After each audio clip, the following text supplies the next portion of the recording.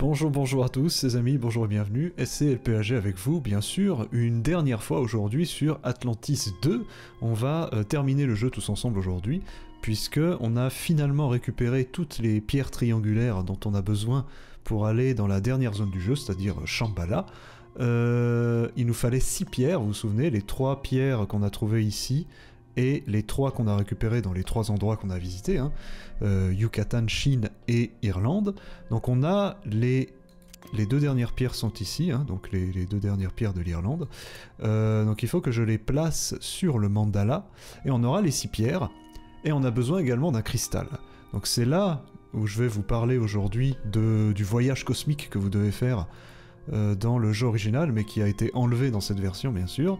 Euh, je vais vous en parler un petit peu. Là, si je m'avance, euh, si je place les deux dernières pierres qui me manquent, donc voici les six pierres.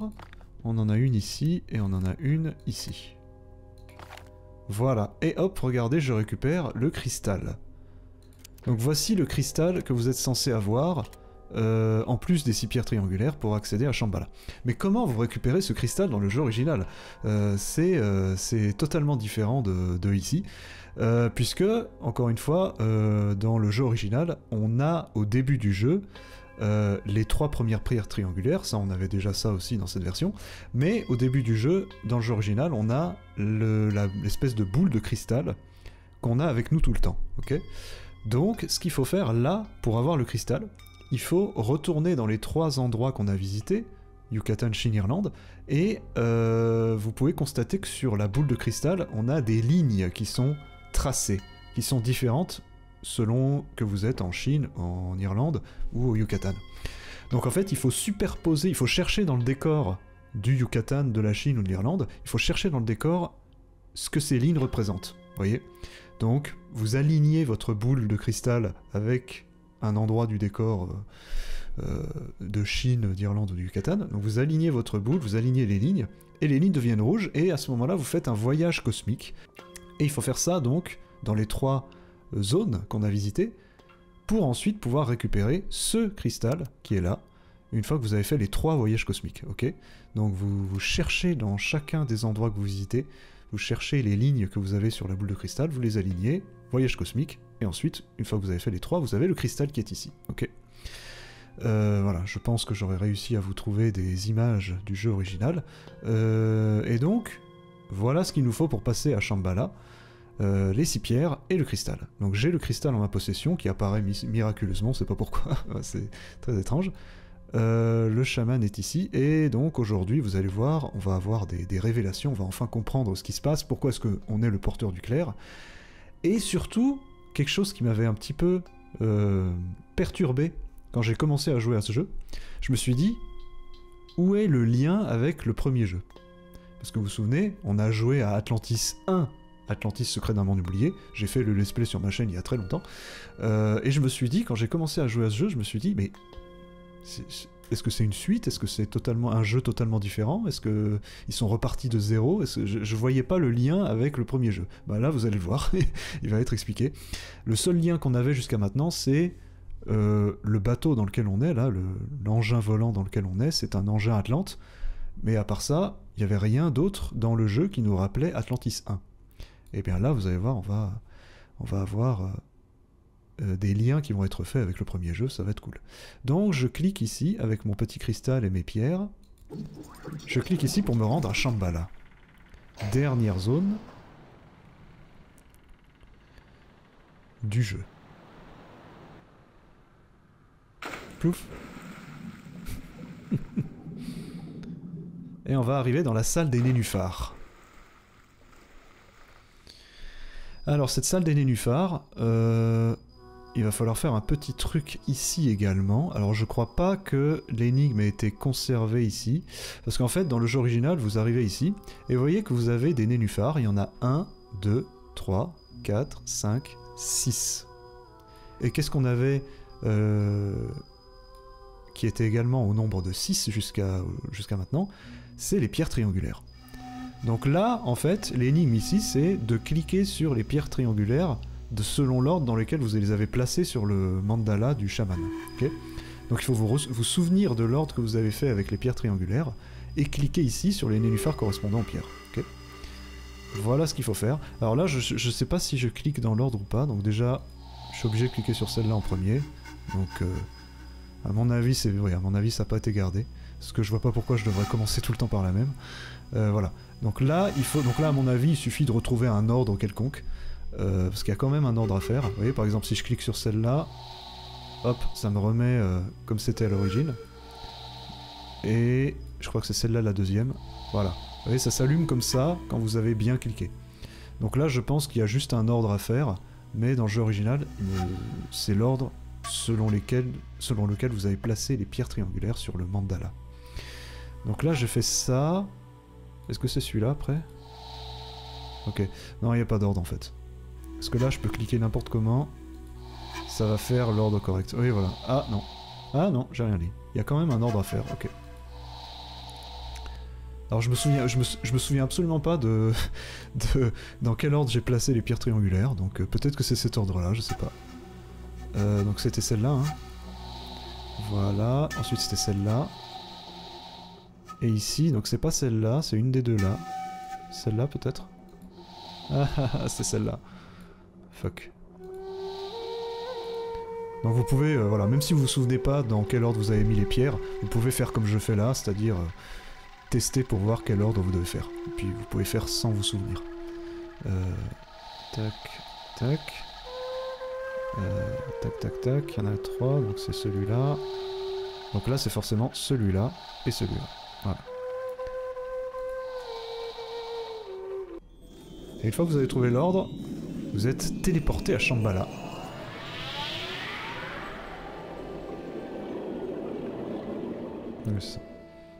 Alors peut-être que c'était l'ordre dans lequel j'avais placé les pierres. Je me souviens plus du tout, mais peut-être. Mais voilà. Euh, donc nous voici à Shambhala, regardez ça. C'est magnifique ici, hein. Avec encore une fois une magnifique musique.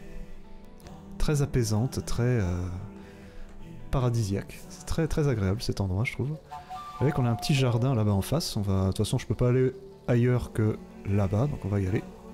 Hop là. Je vole. Plouf. Voilà. Donc c'est un espèce de jardin, vous voyez, Shambhala. Alors je sais pas s'il y a... si ça représente quelque chose, Shambhala. Je vais regarder. Donc euh, effectivement, Shambhala, c'est un, lieu qui existe dans la mythologie bouddhiste. Euh, et qui est, je pense, représenté comme ça. Donc vous voyez, encore une fois, on a des lieux dans le jeu qui sont... Tout, ce que vous avez vu, tous les noms que vous avez vus dans le, dans le jeu ici sont des noms réels. Hein. Tout, est, tout, tout vient, euh, tout est réel. Donc c'est Shambhala, c'est un lieu de la mythologie bouddhiste apparemment. Qui doit être à peu près comme ça, vous voyez. Et qu'est-ce qu'on a à y faire ici, à part euh, apprécier le paysage? Mais regardez, on a quelqu'un ici. Quelqu'un que vous allez reconnaître, je pense. C'est la reine Rhea. la dernière reine d'Atlantide, de l'Atlantide, hein, donc d'Atlantis, la reine qu'on a aidée dans le premier jeu, euh, qui, devait euh, faire face au consort qui s'appelait Créon. Euh, ça se fait avec mes souvenirs du premier jeu. Hein.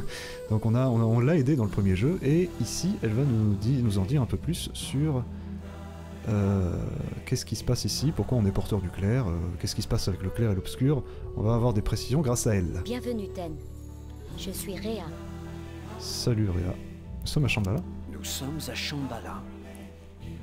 Oui, pour toi, nous sommes à Shambhala. Ah, pour toi? Il y a beaucoup de choses que je ne comprends pas. Moi aussi. C'est ici que s'achève mon voyage? Non, Ten. Toi et ton pouvoir, vous faites partie l'un de l'autre. Son voyage n'est pas terminé et le tien non plus. S'il vous plaît, expliquez-moi en quoi consiste ce pouvoir. Il est venu de quelque part dans les étoiles. Il était infiniment plus savant, plus intelligent que nos ancêtres. Il lui manquait toutefois une chose, un corps pour connaître les sensations, les joies et douleurs, le cycle de la naissance et de la mort. D'accord. Voulait-il souffrir et mourir? Apparemment. Le pouvoir ne meurt pas, Ten, mais il peut partager l'expérience de toute personne qui le porte. Hmm. Que s'est-il passé quand il est arrivé sur Terre A-t-il cherché un corps pour l'habiter non. Il Il est entré dans un cristal Ah. et il a attendu jusqu'à ce qu'une petite tribu qui vivait sur une île le découvre. Le pouvoir leur a fait don de la connaissance et de quelque chose de plus important encore, la soif de découvrir. Ils ont alors quitté leur île et voyagé à travers le monde entier. Et le pouvoir a-t-il obtenu ce qu'il souhaitait? Avec le temps, tu en es la preuve. Mais il n'a rien demandé. Il attendait qu'on l'invite.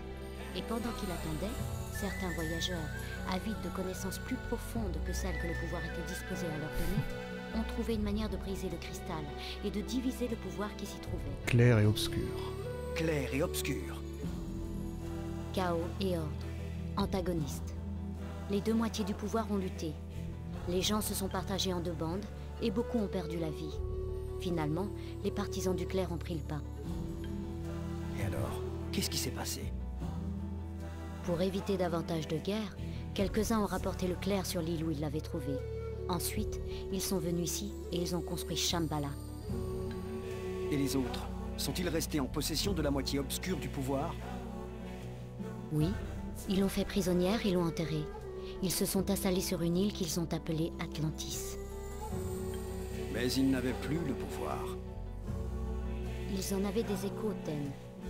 Le cristal s'était brisé en mille morceaux et chacun d'entre eux renfermait un peu du pouvoir. Les gens d'Atlantis ont utilisé leurs cristaux pour fonder une civilisation brillante, cachée du reste de l'humanité. Et ils sont encore là? Non, cela fait longtemps, bien longtemps qu'ils ont été dispersés, quand l'île s'est noyée dans l'océan. À la fin du premier jeu. Comment cela s'est-il passé? Certaines personnes, désireuses de dominer le monde, ont déterré la moitié obscure du pouvoir, provoquant une vague de destruction. Un homme, ton ancêtre Seth, a voyagé là où se trouvait le clair et l'a ramené en lui. Ensemble, ils ont vaincu l'obscur. Dans le premier jeu. Voilà, oui, là on fait le lien enfin avec le premier jeu. Donc euh, vous voyez, ce pouvoir qui, est venu en nous, euh, c'était un, un pouvoir qui voulait euh, avoir un corps pour pouvoir vivre et mourir et tout ça. Et il a fait don de connaissances aux hommes, et les hommes sont devenus cons, et ils ont cassé ce pouvoir qui s'est séparé en deux avec le clair d'un côté et l'obscur de l'autre. Donc euh, le dernier porteur du clair apparemment c'était Seth dans le premier jeu puisque Seth euh, est parti trouver euh, ce, clair pour vaincre l'obscur qui était à Atlantis. Donc apparemment l'obscur est à Atlantis. Alors de, qui on parle quand on dit que l'obscur est, encore à Atlantis? Bah, C'est ce qu'on va devoir découvrir ici. Et voilà, et nous donc on est devenus porteurs du clair. Donc en tant que porteur du clair, il faut qu'on vainque, il faut qu'on réussisse à... On a encore une mission à faire en tant que porteur du clair, c'est d'aller vaincre l'obscur qui se trouve à Atlantis. Ok? C'est ce qu'on va faire à la fin de ce jeu. Euh, Je suis ici, et je ne comprends pas encore pourquoi. Tu es ici parce que le clair a entendu l'appel et a commencé à se réveiller. Puis il t'a guidé sur le chemin. Le clair était-il endormi? Après l'engloutissement d'Atlantis, le peuple de Shambhala craignait une nouvelle confrontation entre les deux moitiés du pouvoir. Ils ont inventé une façon de mettre l'obscur en sommeil. Ah, c'est bien ça. Et le clair? L'un ne peut dormir si l'autre est éveillé, Ten. Ce sont des moitiés d'un seul être, bien plus que des jumeaux. L'obscur dormait dans sa prison, le clair à travers les nombreuses générations de porteurs. Tu es le dernier. Ok. Pourquoi? Pourquoi suis-je le dernier? Et pourquoi le pouvoir s'est-il réveillé Tes ancêtres savaient qu'un jour un signe apparaîtrait et appellerait le pouvoir pour qu'il retourne à sa source. Sachant qu'il n'était pas possible de réveiller l'un sans l'autre, ils ont pris toutes les précautions possibles. En quoi consistait-il Ils ont construit un chemin vers Shambhala et en ont dispersé les parties pour que seul le porteur du clair, celui qui avait le cristal, puisse le suivre. C'est ce qu'on a fait jusqu'à Pourquoi maintenant. voulait-il que le porteur du clair vienne ici Tu trouveras à partir d'ici le chemin menant à la prison de l'obscur. Là-bas, clair et obscur doivent s'unir pour que le pouvoir réponde à l'appel. Pourquoi mes ancêtres, avec toute leur sagesse, n'ont-ils pas rassemblé les deux moitiés? Le clair et l'obscur peuvent seulement s'unir par eux-mêmes pour devenir un. L'un doit absorber et dominer l'autre. Avant qu'ils ne se séparent, c'est le clair qui dominait. Il faudra revenir à cette situation. Et si l'obscur absorbe le clair? Pas de chance. C'est ce que craignaient tes ancêtres, Ten. Et c'est pour cette raison que le pouvoir fut mis en sommeil. Mais maintenant, l'union doit s'accomplir. Et le clair doit être plus fort. Pourquoi les moitiés ne se sont-elles pas unies la dernière fois qu'elles ont lutté? Parce que ton ancêtre Seth, le premier porteur, Premier ne porteur. voulait pas risquer que l'obscur absorbe le clair, c'est pourquoi il empêchait leur union. Mais maintenant, l'appel est arrivé, et il n'y a pas d'autre option. On ne peut pas remettre le pouvoir en sommeil. Mais qu'est-ce que cela a à voir avec moi? Moi, je suis seulement le porteur du clair. Bah, justement. Le pouvoir est venu en quête d'une forme physique, Ten, pour accomplir son destin. Aujourd'hui, cette forme, c'est toi. Toi et le clair êtes un et indivisible. Bientôt, tu formeras également un seul être avec l'obscur. cool. Et Qu'est-ce que je ferai alors? Accomplir ton destin, Ten, quel qu'il soit. Voilà ce qui s'est passé, oui, voilà. Le, clair est entré en nous, donc on fait qu'un avec le clair, apparemment. Euh, et si, vu que clair et obscur ne peuvent pas être divisés, euh, enfin, ils sont liés l'un à l'autre, donc si le clair est venu en nous au début du jeu, il est venu en nous il nous a emmenés vers le chemin qui nous a conduit jusqu'ici à Shambhala pour qu'on puisse aller euh, vers l'obscur, si le clair s'est réveillé, ça veut dire que l'obscur aussi s'est réveillé. Donc il faut qu'on suive, en tant que porteur du clair, le clair est venu à nous, le pouvoir est venu à nous. Donc on a suivi ce chemin qui nous a emmenés au Yucatan, au machin, au truc, jusqu'à Shambhala, pour qu'ensuite on puisse aller vers l'obscur et qu'on euh, puisse faire en sorte qu'il ne fasse qu'un avec le clair, comme c'était à l'origine. À l'origine, le pouvoir, c'était clair-obscur en un seul. Là, il faut qu'on fasse ça, en fait. Ok, j'ai compris, j'ai compris. Euh, Et vous, qui êtes-vous, Réa? Et vous? Qui êtes-vous, Réa? J'étais la dernière reine d'Atlantis, et je n'ai pas été une bonne reine. Je n'ai pas prévu la tragédie qui, pendant des années, menaçait notre île. Cause de crayon. Je me suis vue obligée de chercher refuge à Shambhala. Maintenant, je paye une partie de ma dette. Mais vous m'avez dit qu'Atlantis a été détruite il y a bien longtemps. Comment pouvez-vous être ici? Je ne suis pas ici. Pas exactement. Je suis un message, Ten. Un message qui a attendu ce jour longtemps. Quand tu partiras, Ah. je partirai aussi. T'es un hologramme, en fait. Que vous arrivera-t-il? Ceux qui arrivent au mot, une fois qu'ils sont dits, Très bien. Euh, Connais-tu l'homme qui m'a aidé à suivre le chemin jusqu'ici, le, le chaman bien sûr Voilà pourquoi le chaman était là et qu'il avait un, un vaisseau d'Atlantis. C'était lui qui nous a guidés sur le chemin pour qu'on arrive jusqu'ici et qu'on puisse réunir le clair et l'obscur pour reformer le pouvoir. Connais-tu l'homme qui m'a aidé à suivre le chemin jusqu'ici le gardien du cristal. Ce fut le dernier d'une longue lignée. Dis-moi en plus. Quand les préparatifs de ces événements ont eu lieu ici, à Shambhala, un cristal a été confié au premier gardien et a été transmis tout au long des siècles, du maître à l'apprenti, avec des instructions détaillées. Ok. Mon cristal contient un voyage. Mon cristal contient un voyage. Pour le pouvoir, c'est le voyage du retour. Mhm. Quand le clair et l'obscur formeront un tout, tu compléteras Voilà. ce voyage. Voilà l'objectif. Sais-tu ce que je trouverai là-bas? Non, le pouvoir te guidera. Très bien. Quand pourrais-je reconnaître l'obscur? Bah à mon avis, Comment pourrais-je reconnaître l'obscur? ça doit être un truc sombre. Tu le reconnaîtras quand tu le verras, Ten. Comment puis-je aider le clair à l'absorber Vous dominerez ensemble l'obscur comme un seul être, ou ce sera lui qui vous absorbera et vous dominera. Utilise le clair avec la main. Avec la main La main d'argent. Où est l'obscur À Atlantis. Dans sa prison, en train de t'attendre. Entre cet endroit et l'obscur, il y a une dernière protection que tu dois traverser. C'est un chemin sans retour, Ten. Quand tu quitteras Shambhala, le clair et l'obscur se trouveront enfin face à face. Voilà. Très bien. Et l'étoile, la fameuse étoile qui brille tout le temps qu'on a vue partout, est-ce que c'est l'appel? L'étoile qui brille pendant la journée, c'est un appel?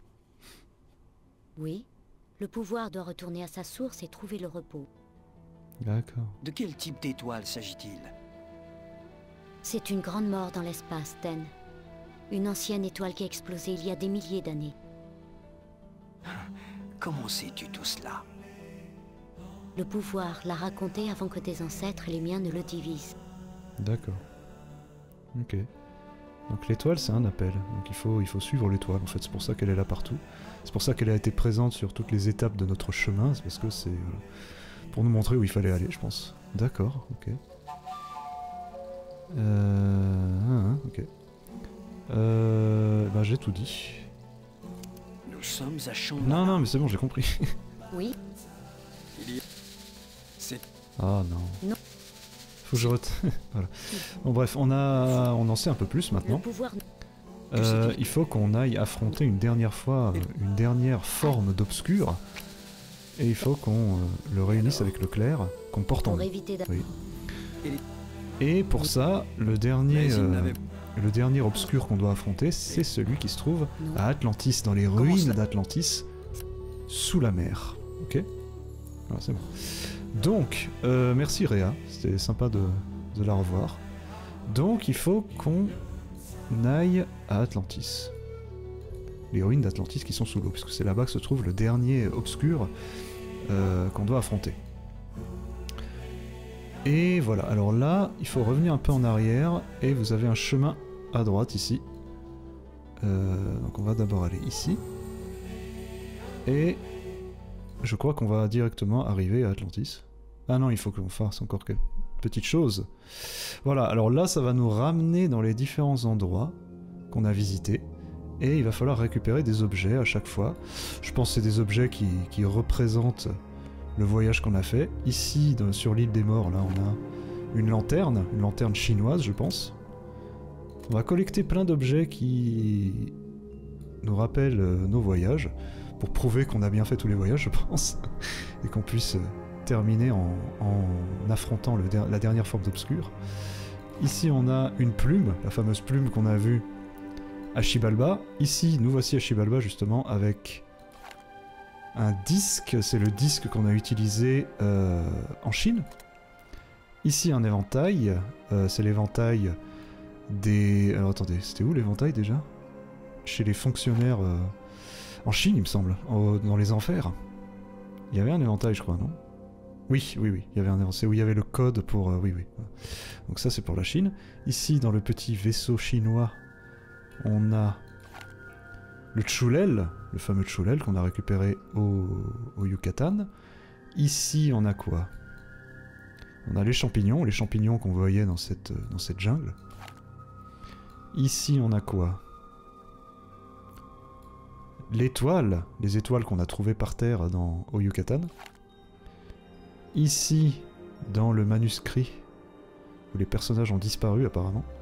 Ici, on a une chenille. Euh, on a utilisé une chenille? Il me semble que oui, mais je sais plus où. Et ici, une épée, l'épée de Nuada peut-être. Et voilà. Et là, il n'y a plus d'objets à récupérer, sauf que, regardez, ici, on a... Qu'est-ce que qu'est-ce qu'il faudrait placer ici? Ben, Il faudrait placer la fameuse étoile, bien sûr, qui nous a guidés jusque-là. Donc en fait, là, je pense que on a récupéré tous ces objets. Alors, il me semble, dans le jeu original, il y a beaucoup plus d'objets que ça à récupérer. Euh, et euh, on va utiliser donc cette étoile pour la mettre ici. Et c'est peut-être une façon de prouver à l'étoile qu'on a bien suivi notre chemin, vous voyez, qu'on a bien fait euh, tout ce qu'il y avait à faire. Je place l'étoile ici et on va se retrouver en Atlantide. Ah. Musique familière. enfin, musique qui ressemble au premier jeu.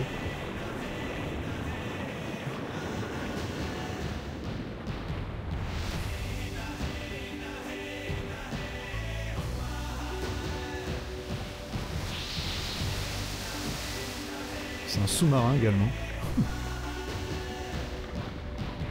Voici les ruines d'Atlantis.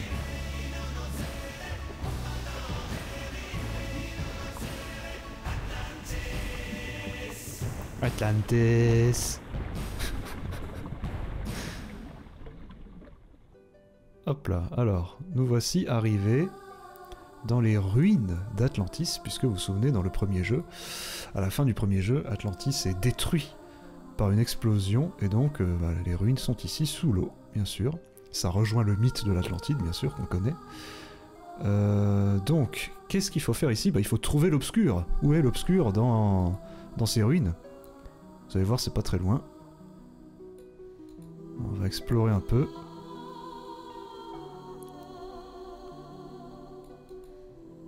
On voit pas grand chose, mais heureusement qu'on a les petites flèches qui nous indiquent où aller. Alors là, je crois que si je vais de ce côté, ça n'emmène nulle part.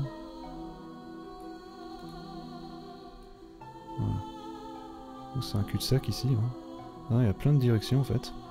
Je vais pas aller par là. Je vais plutôt aller là. Euh... Je crois que c'est par là.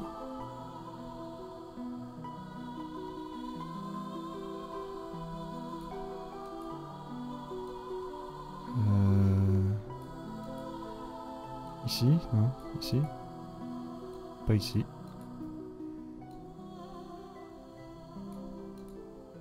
Ah mon dieu, quelle horreur. Voilà l'obscur. Voilà la chose qu'on va devoir vaincre pour euh, rétablir euh, le pouvoir. Euh, donc cette chose doit vous rappeler également quelque chose, si vous avez joué au premier jeu, si vous avez regardé mon let's play du premier jeu.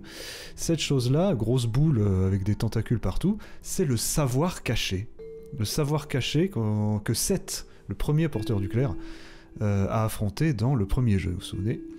Euh, et donc le savoir caché est encore dans les ruines d'Atlantis ici. D'ailleurs, il me semble que ça, ça, me rappelle quelque chose cet endroit. C'est pas l'endroit où on arrive là? Attendez. Si, si, c'est ça. Hein. Je crois qu'il y avait des escaliers ici, on grimpait ici, et il y avait ça de ce côté, et ça de l'autre côté, et ça c'était la porte où on rentrait pour voir le, le consort là, non? Enfin, crayon. Il me semble que c'est ça. Donc voilà, voilà ce qu'on va devoir affronter. On va devoir détruire le savoir caché, voilà, qui est encore vivant dans les ruines d'Atlantis. Vous voyez, ça c'est bien parce que ça fait le lien avec le premier jeu, donc c'est cool. Comment vaincre le savoir caché? Il nous faut un cristal. Parce que je n'ai plus rien dans mon inventaire, comme vous voyez. Donc il nous faut trouver un cristal. Qui est caché par là, je crois. Voilà, ici. Hop, cristal clair. Donc le cristal clair va nous servir à détruire cette chose. Le savoir caché. Qui était responsable de toutes les horreurs qu'il y a eu dans le premier jeu. Toutes les mauvaises choses qu'il y a eu. Euh, où il est? Là, voilà. Alors là, donc, vous prenez votre cristal clair. C'est pas ça qu'on avait dans le premier jeu, d'ailleurs. Ce serait logique qu'il soit ici. Euh, il me semble que c'est ça qu'on avait dans le premier jeu. Pour... Ça me rappelle quelque chose, ça. Je me souviens plus trop du premier jeu, mais il me semble que, ce cristal, que ce, cet objet-là, on l'avait dans le premier jeu aussi. Ce qui serait logique parce qu'on est dans les ruines d'Atlantis. Donc voilà. Donc là, comment vous faites pour battre euh, le savoir caché? Eh bien, euh, dans le jeu original, vous placez votre cristal sur euh, le corps du savoir caché et le cristal va s'allumer de temps en temps, et dès qu'il s'allume, il faut cliquer sur les tentacules pour les faire partir. Là, j'ai pas besoin de faire ça, j'ai juste à cliquer. Voilà, vous cliquez, et vous cliquez sur les tentacules, vous voyez, pour les faire partir. Donc dans le jeu original, vous êtes obligé d'attendre que le cristal clignote, et ensuite cliquer sur les tentacules. Pouf, pouf, pouf, et voilà. Et le l'obscur ne fait plus qu'un avec le clair puisqu'on était porteur du clair. Donc il est... Euh, hop là. Donc on a gagné, je pense. tu es à nouveau un. Le clair et l'obscur forment un tout. Voici ton cristal. Le retour aux sources est presque achevé. Merci. Euh... Ok. Le chemin m'a conduit à Le chemin m'a conduit à d'étranges voyages. Ce n'est pas ton enveloppe charnelle qui entreprend ces voyages, Ten. Et qu'en est-il des endroits où je vais? Existe-t-il? Pour toi, bien sûr que oui. Ils existent que pour moi, apparemment. Donc voilà, là j'ai mon, mon, cristal machin, très bien. Donc il faut une dernière fois aller sur le, le mandala ici. Et on récupère encore une fois le cristal. Et il faut mettre une dernière fois ce cristal au centre ici avec toutes les pierres. Pour terminer le jeu. Sauf que je peux pas. Attendez. Je peux pas. Ah voilà. Ok c'est bon. voilà. Et voici la dernière cinématique. On a réussi à, vaincre l'obscur, à réunir l'obscur et le clair pour euh, que le pouvoir soit reformé. Et donc maintenant on a cette dernière cinématique. Que va-t-il advenir de Ten maintenant qu'il a rempli sa mission? On va voir ça.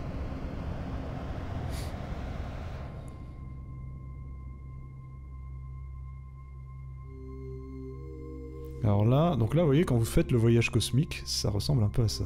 Vous êtes euh, dans l'espace et vous vous déplacez vers le Soleil, vers, euh, vers une ceinture d'astéroïdes et tout. C'est un peu comme ça, sauf que là, ça va vous emmener ailleurs.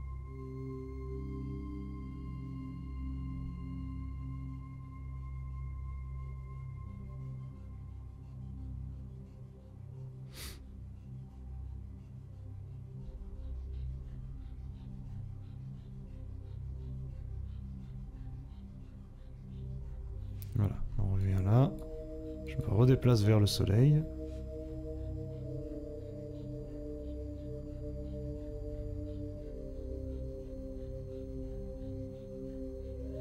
C'est le même voyage cosmique qui vous emmène, enfin qui vous permet de récupérer le cristal pour aller à Shambhala. C'est la même chose, sauf que là ça va vous emmener ailleurs.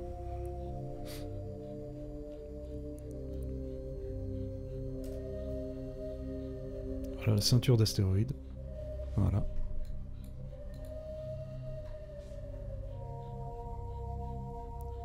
S'éloigner du système solaire. Hop. Je pense que c'est... Voilà. Vous devez faire ce voyage cosmique euh, avant d'aller à Shambhala. Donc ça vous emmène à Shambhala, mais là, ça nous emmène ailleurs. Où est-ce que ça va nous emmener Vous allez voir? Suspense. on est très très loin du, système solaire apparemment. Vous savez, d'abord on fait le Soleil, ensuite on fait ceinture d'astéroïdes, ensuite on va beaucoup plus loin dans le, système solaire, enfin dans, l'univers. Voilà, on est arrivé au bout.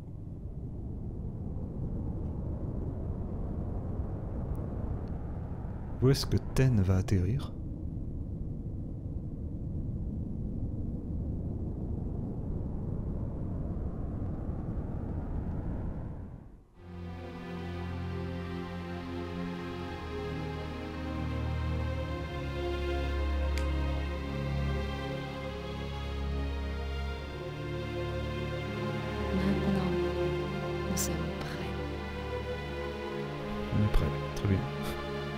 Elle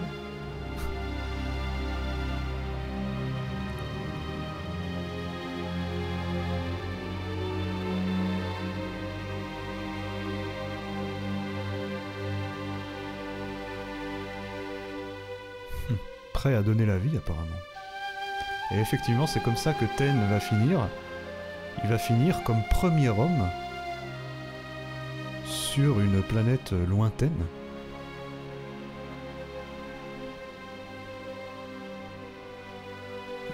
Voilà, cette planète.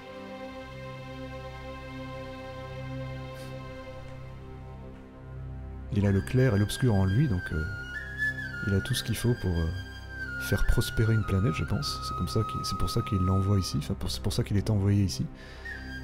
Donc, euh, il devient en quelque sorte un, Adam, un Adam et Ève d'une nouvelle planète.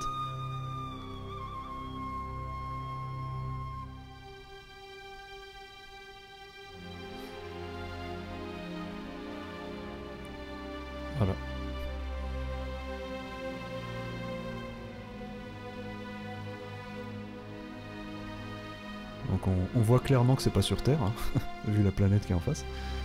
Donc voilà, Ten finit comme ça, en tant que premier, euh, premier homme d'une nouvelle planète, d'une nouvelle civilisation. Il a le clair et l'obscur en lui, donc euh, l'équilibre parfait pour faire prospérer une civilisation, je pense. Et voilà, c'est la fin d'Atlantis 2.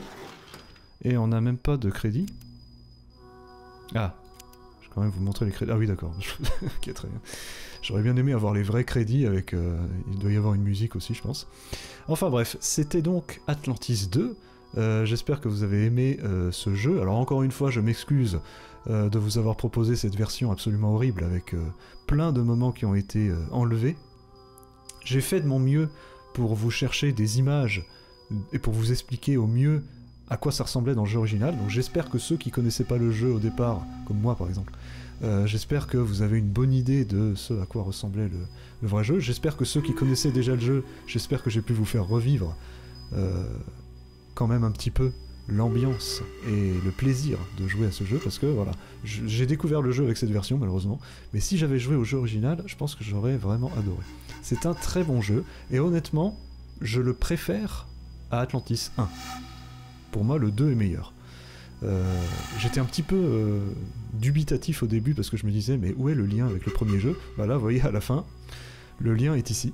Donc euh, voilà, donc vu qu'il y a quand même un lien avec le premier, je suis très content et j'ai vraiment adoré ce jeu. Et pour moi, je le trouve meilleur que, le premier jeu Atlantis. Et il fait le lien, donc c'est encore, encore mieux. Donc j'espère que vous avez quand même pris du plaisir à voir ce let's play. Alors j'hésite à faire Atlantis 3. Euh, je connais. Alors, j'espère qu'il y a une version un peu meilleure. Il me semble que pour Atlantis 3, il y a une. Euh, le jeu original existe et il peut être joué sur, euh, sur les PC. Donc, n'hésitez pas à me dire en commentaire si vous connaissez Atlantis 3. Est-ce que ça vaut le coup que je le fasse ou pas Parce que voilà, il me semble que c'est le dernier intéressant de la série. Donc si jamais vous avez envie que je continue et que je fasse Atlantis 3, moi je suis bien chaud pour faire Atlantis 3 parce que c'est vraiment des jeux que j'adore, c'est une série de jeux que j'adore. Si jamais euh, j'ai aussi une autre idée de jeu à faire, un jeu plus moderne avec des énigmes, euh, donc je sais quoi faire si jamais Atlantis 3 c'est de la merde, mais n'hésitez pas à me dire en commentaire si Atlantis 3 est... si vous voulez que je fasse Atlantis 3, euh, moi je suis chaud, donc n'hésitez pas à me dire ce que vous, ce que vous voulez. et voilà, donc on se retrouve la semaine prochaine, soit pour Atlantis 3, soit pour un autre jeu à énigmes. Et voilà, j'ai vraiment adoré ce jeu, très content de l'avoir fait. Et euh, c'est pour ça que j'ai envie de continuer la série en fait. Donc voilà, euh, j'espère que ça vous a pas trop dérangé cette version, euh, et j'espère que vous avez pu revivre la magie du jeu, et j'espère que je vous ai donné un bon aperçu en cherchant les infos que comme j'ai fait à côté. En fait, c'est comme si je faisais un let's play de deux jeux en fait, ce jeu-là et le jeu original où je cherchais des infos. Donc ça a été très pénible et compliqué pour moi de faire ce let's play, mais je suis très content de l'avoir fait. C'était la moindre des choses que je que je fasse le jeu comme si c'était le jeu original pour vous montrer à quoi vraiment à quoi ressemblait vraiment le jeu original. Et j'ai plutôt réussi à le faire. J'espère que j'ai réussi à le faire. Et j'espère que ça vous a fait plaisir de, de, voir ce let's play. Donc on se retrouve la semaine prochaine pour un prochain jeu soit Atlantis 3 soit, soit, Atlantis 3, soit un autre. Euh, merci à tous. N'hésitez pas à me dire en commentaire ce que vous avez pensé de ce let's play bien sûr. Et je vous retrouve la semaine prochaine pour d'autres aventures. À la semaine prochaine. Merci à tous et ciao ciao